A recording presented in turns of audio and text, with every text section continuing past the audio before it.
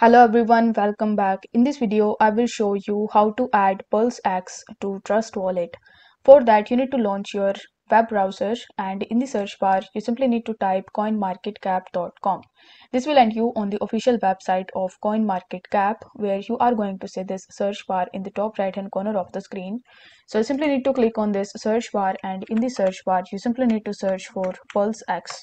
Now once you have found Pulse X, you simply need to click on it and then you are going to see its chart and bunch of other information such as its market cap and volume. Now over here in the left hand section, you are going to see this contracts section where you are going to see the Pulse chain network as well as the icon of trust wallet. So if you hover over to this icon it will show you that you can add it in your trust wallet. So simply need to click on its icon and then it will show you in the top that the network is not supported. Please change your network in trust wallet.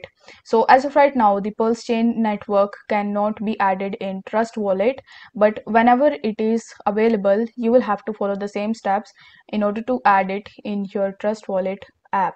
If the video was helpful then don't forget to like the video and subscribe to the channel. Thank you so much for watching.